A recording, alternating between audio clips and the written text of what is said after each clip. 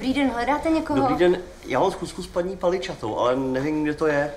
Já vás tam zavedu, to je opatro, víš? Je, děkuji, to budete hodná.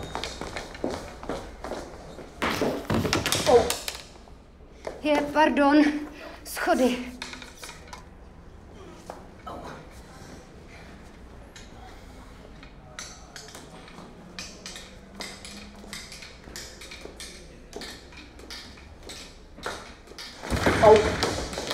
Je, pardon, dveře.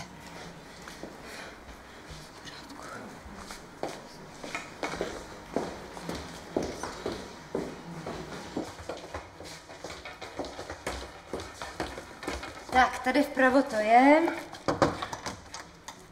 Děkuju, Prosím. nashledanou.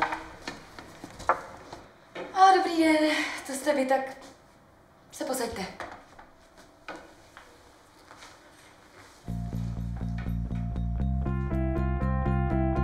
Schopnost vcítit se je jedním z velkých darů člověka.